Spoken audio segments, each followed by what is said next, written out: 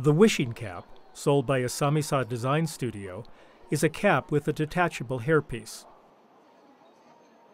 私自身が抗がん剤治療で髪の毛が抜けてしまった経験がありますのでその患者さんのためにあの治療に役立てればということで製品作りました。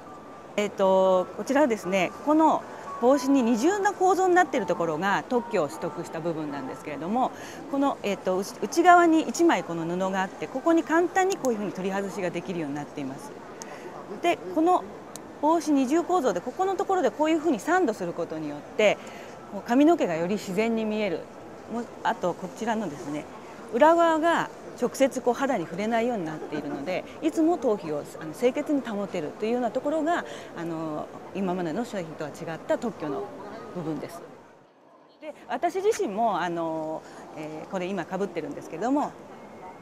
こんな感じで簡単につけることができます。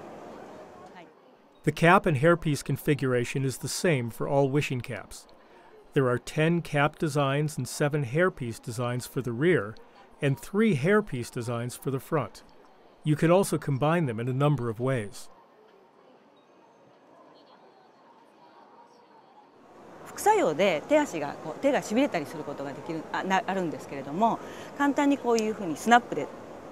あの取り外しができるので操作が簡単というのもすごいメリットです。あの抗がん剤治療で一時的に髪のなくなった方もさることながらあとあの脱毛症であのちょっと困ってらっしゃる方あとはあのちょっと、えー、白髪になったりした方とかそういった方々にあの広く使っていただけてあとはファッションなんかでも今後は展開できるんじゃないかなと考えてます。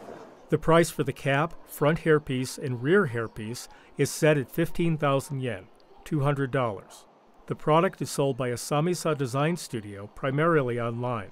Catalogs are also distributed to hospitals and other locations. The company has plans to market products for children as well. DigInfo News